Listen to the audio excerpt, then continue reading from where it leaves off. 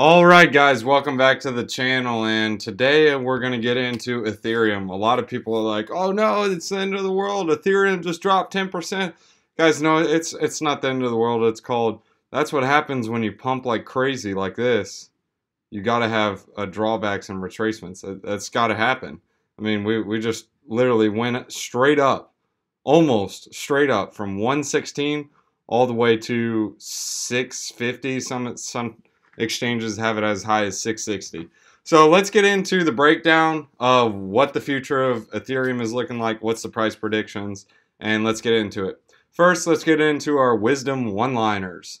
Um, this is saying 11, uh, Proverbs chapter 23, verse 10 and 11. Do not move an ancient boundary so stone or encroach on the fields of the fatherless. For the defender is strong, he will take up their case against you. Um, it is a wisdom one-liner. Um, maybe it has different meanings to different people. Um, but what it has to me is if my father or someone has put something there for a reason, well, it, it's there for a reason. If your dad says, hey, don't go move that, or hey, don't go do that, or hey, don't touch, well, everyone knows about this, don't touch the thermostat. You guys know who you are. There's a reason he's saying don't touch it. He left it there for a reason. Saves money on the power bill. Uh, that's what I take from it. But hey, there's different meanings from it. So let's get into it. So you guys are like, oh no, Ethereum, what's going on? Let's look at the Ethereum price prediction. You got one guy saying it's eighty or eighty thousand dollars. You got another guy who's like ETH price prediction, and you watch his video, and it's like, oh well, here in the short term, it might crash. Ethereum, ten thousand uh, dollars. Bitcoin bears and um, I don't even in control. Oh, Bitcoin bears in control analysis and targets. Important zone. Guys, no one knows. There's a reason it's called a prediction. No one knows what it's going to do. But I can tell you what it's going to do in the long run. In the long run, it's most likely going to go up. This is not financial advice. This is just what I see. You guys take it how you see it on what you want or what what you see. But I'm looking at the chart analysis. I mean, previously it was up to here. I'm not expecting it to go there. Obviously, past performance doesn't make future results.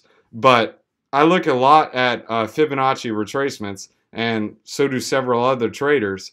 But if you look at the retracement lines, um, let's see. Start with the bottom to this top. These will show you the different retracements. So between this bottom and this top, this shows like the 382 line was a pretty strong, strong resistance for this. So it bounced off the 382. Usually the 0.5, I did a video on this to explain fib retracements and what they mean. But the 0.5 is usually like a turning point. So if you see like 0.68 to 1, this is more of like a, a bearish channel. But as soon as it approached this 0.5, it said, bye-bye, I'm going up. and then it went into a bullish sentiment. That's why you saw when it started going down and it was like, all right, bears and bulls, bears and bulls, battling, battling, what's going to happen? And what happened was they beat out the channel and went back up.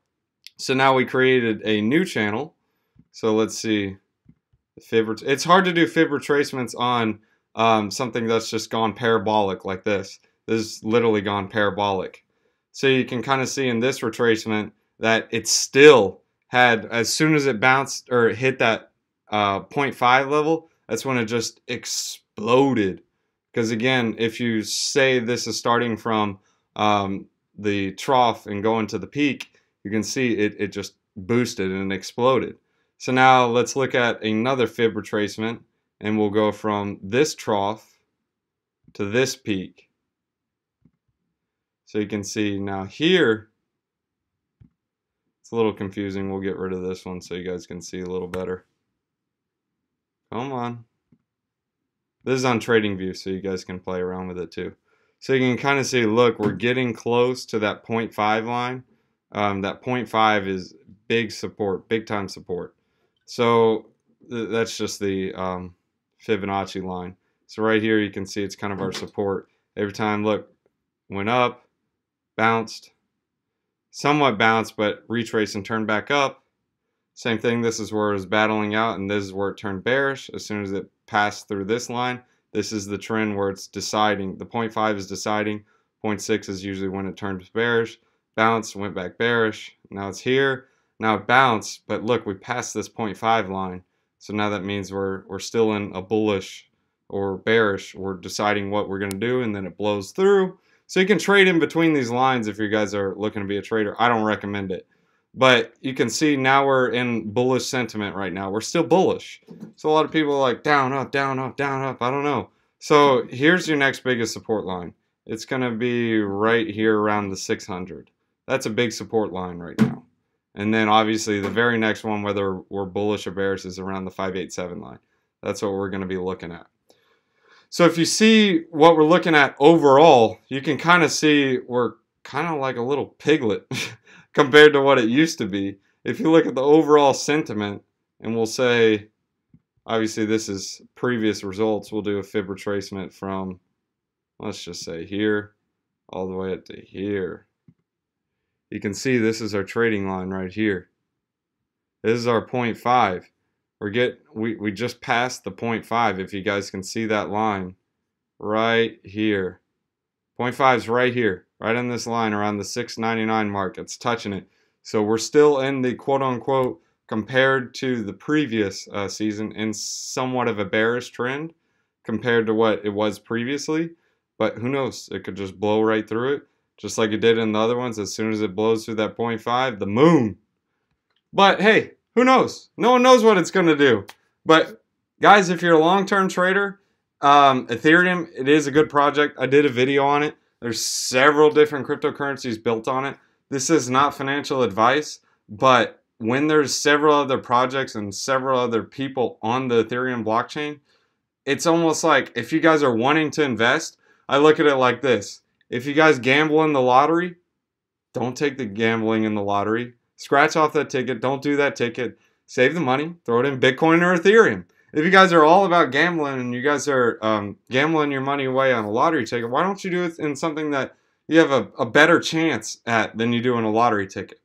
So it's not financial advice. This is just what I think I would do if I was someone who bought lottery tickets. I don't do that because um, I, I, have addictive personality. So if I started buying lottery tickets or I don't know, that that would be not a good thing.